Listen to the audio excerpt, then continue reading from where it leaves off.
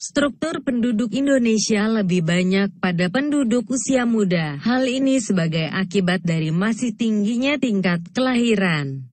Persentase penduduk 0 sampai 14 tahun pada tahun 1980 mencapai 40,3 persen dan pada tahun 1985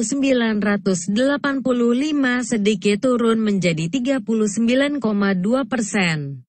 Penduduk usia muda ini pada tahun 2000 diperkirakan turun lagi menjadi 37,7 persen dan 34,2 persen. Pertumbuhan penduduk sangat banyak, yaitu nomor 4 di dunia setelah Cina, India, dan Amerika Serikat akibat pertumbuhan penduduk yang cepat antara lain sebagai berikut. A. Pertumbuhan penduduk usia muda yang cepat menyebabkan tingginya angka pengangguran. B.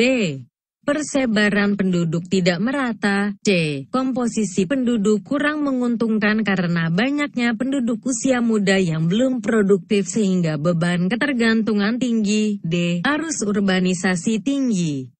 Sebab kota lebih banyak menyediakan lapangan kerja. E. Menurunnya kualitas dan tingkat kesejahteraan penduduk.